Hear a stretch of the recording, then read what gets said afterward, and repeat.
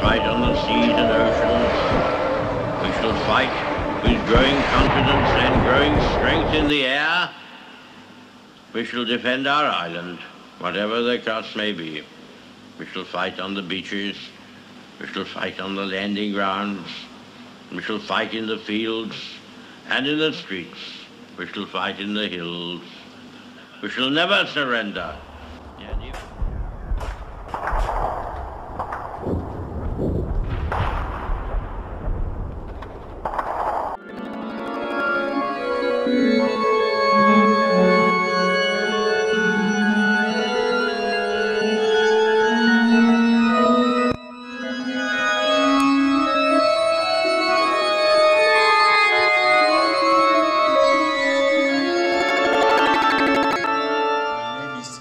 Genel Christofoli, and I'm currently the rector of the Shrine Church of St. Walburge's at Preston.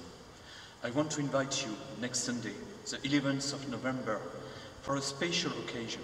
We will celebrate the centenary of the end of the First World War. We will celebrate the High Mass here at this very altar, dedicated to the one who felt who, those who have given their life for our city. And you see here the arm of Preston just under the crucifix. They gave their life to protect our city, to protect England, to protect UK. So next Sunday we'll celebrate the Mass with this chalice who was given by the soldiers after the war.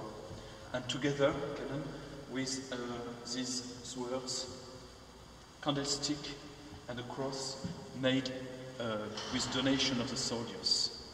It will be a very special moment, very special event for Preston. So please do come, join us here in this Shrine Church of St. Walburge's at 10.30. It will be a very special occasion.